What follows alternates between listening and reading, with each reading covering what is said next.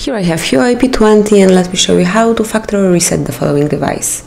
So at the very beginning you have to open the settings, then scroll down to the very bottom of the list and select system.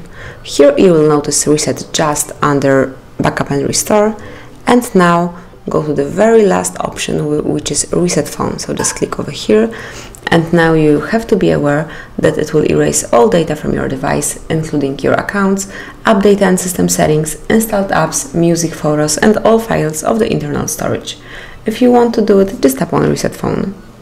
You have to confirm it one more time because this operation cannot be undone and resetting your device will erase all system data and installed apps. So if you truly want to do it, if you truly want to perform this reset, just tap on reset phone. And now you just have to be patient because it may take a while, your device will wipe all data and then it will be turned on so you can set it up from the scratch.